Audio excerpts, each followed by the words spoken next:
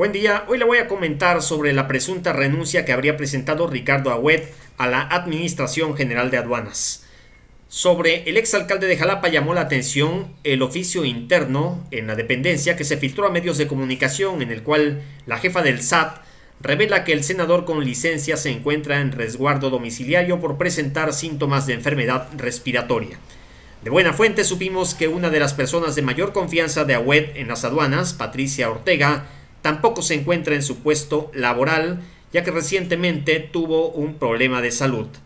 La salida de Ricardo Agüed a menos de un año de haber tomado el puesto dará mucho de qué hablar. De ese tema le voy a platicar en mi columna de este viernes y le invito a leerla en horacero.mx.